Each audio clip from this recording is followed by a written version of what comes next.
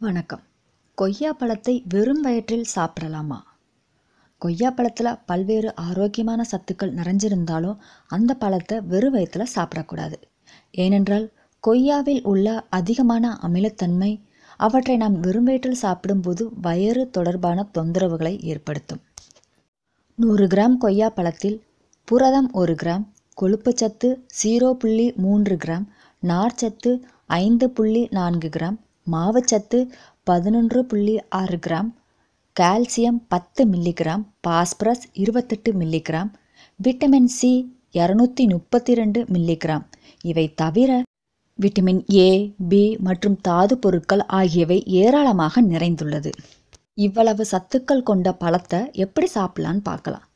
நன்றாக பழுத்த கொய்யா பழத்தோட மிளகு எலுமிச்சை சாறு ஆகியவற்றை கலந்து சாப்பிட்டு வந்தோம்னா உடல் சோர்வு மற்றும் பித்தம் நீங்கும். கொய்யா பழத்து கூட சப்போட்டா பழத்தை சேர்த்து அது கூட தேன் கலந்து நம்ம சாப்பிட்டு வந்தோம்னா உடல் நல்ல பலம் பெறுவதோட ரத்தமும் சுத்தமாகும். மதிய உணவுக்கு பின் கொய்யா பழத்தை சாப்பிட்டு வந்தோம்னா நன்றாக ஜீரணமாவதோட மலச்சிக்கல் வயிற்றுப்புண் இரத்த அழுத்தம் வயிற்றுப்போக்கு மூட்டு வலி அரிப்பு மூல நோய் சிறுநீரக கோளாறு ஆகியவற்றை குணப்படுத்தும். கொய்யா பழத்தில் நார்ச்சத்தும் குறைந்த அளவு சர்க்கரையும் இருக்கு.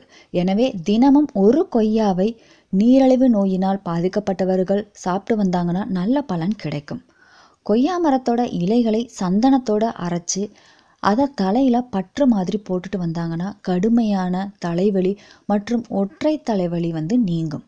கொய்யா மரத்தோட இலைகளை அரைச்சி தண்ணீரில் கலந்து அதை குடிச்சிட்டு வந்தாங்கன்னா வயிற்று வலி தொண்டைப்புண் போன்ற நோய்கள் குணமாகும். இது போன்ற பயனுள்ள தகவல்களை அறிய சேனலை சப்ஸ்கிரைப் பண்ணுங்க. நன்றி.